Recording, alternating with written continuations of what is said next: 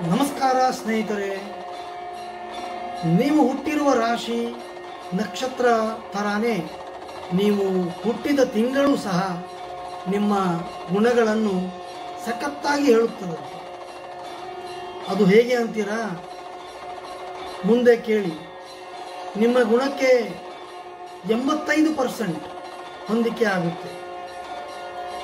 ಹುಟ್ಟಿರೋ ತಿಂಗಳು ಮತ್ತು ನಿಮ್ಮ ಗುಣಗಳು ಹೇಗಿದೆ ತಿಳಿದುಕೊಳ್ಳಿ.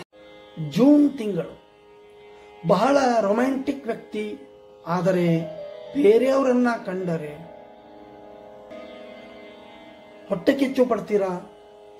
ಪ್ರೀತಿ ಜೀವನ ಅಷ್ಟು ಚೆನ್ನಾಗಿ ಇರಲ್ವೇನೋ, ಆದರೆ ನೀವೊಬ್ಬರು ಅದ್ಭುತ ಪ್ರೇಮಿ ಅನ್ನೋದರಲ್ಲಿ ಡೌಟೇ ಇಲ್ಲ. ಹಳೆ ವಿಷಯಗಳನ್ನ ನೆನಪಿಸಿಕೊಂಡು ಕೊರಗ್ತಾ ಇರ್ತೀರಾ?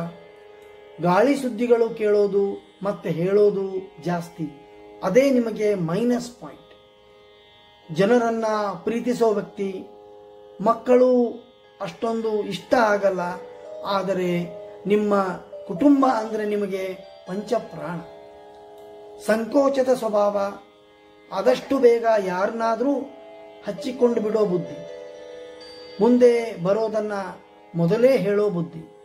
ಬಹಳ ಸೂಕ್ಷ್ಮ ಯಾವಾಗಲೂ ಬೆಸ್ಟ್ ಇರಬೇಕು ಅಂತ ಅನ್ಕೋತೀರಾ?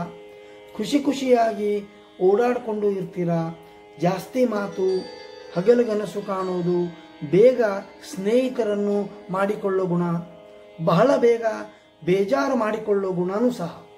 ನಿಮಗೆ ಬೇಗ ಬೋರ್ ಆಗುತ್ತೆ, ನೆಗಡಿ ಹೆಚ್ಚಿಗೆ ಬರೋ ಚಾನ್ಸಸ್ ಇದೆ.